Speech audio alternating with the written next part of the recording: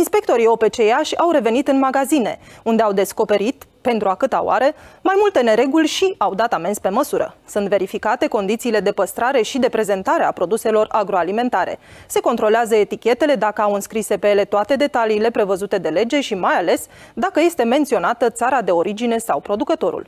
Cum vă spuneam la începutul prezentării, neregulile au fost multe, motiv pentru care au curs și sancțiunile.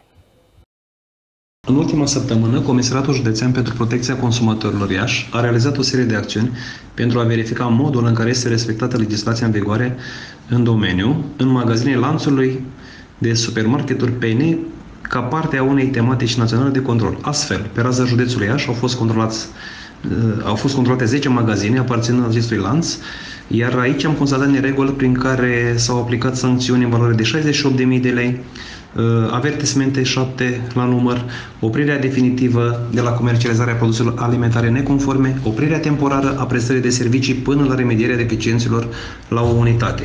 S-au mai constatat nereguli cum ar fi comercializarea unor regume și fructe necurățate corespunzător depreciate calitativ cu mucegai, modificate organoleptic de calibre diferite, utilizarea unor vitrine insalubre cu insecte, resturi alimentare și praf. Utilizarea unor cuptoare la raioanele de panificație patiserie neigienizate, corespunzător și a unor tăvi arse. Existența unor neconcordanțe între prețul produsului de la casa de marcat și cel de raft, iar aici sancțiunile sunt foarte dure, ă, pot merge până la 100.000 de lei.